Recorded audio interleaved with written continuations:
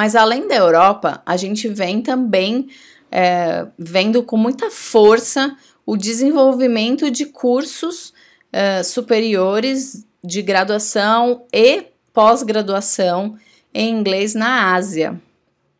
É, o continente tem é, demonstrado essa necessidade, tanto por uma necessidade interna, quanto por uma necessidade também de diversidade, né? Então, de trazer alunos de fora. Várias universidades têm feito parcerias com universidades americanas, por exemplo.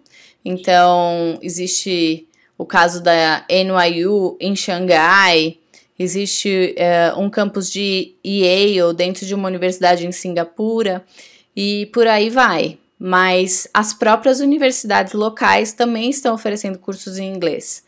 E aí a gente tem cursos na China, Taiwan, Hong Kong, Índia, Singapura, como falei para vocês, Filipinas, Japão, Filipinas, Japão e Malásia.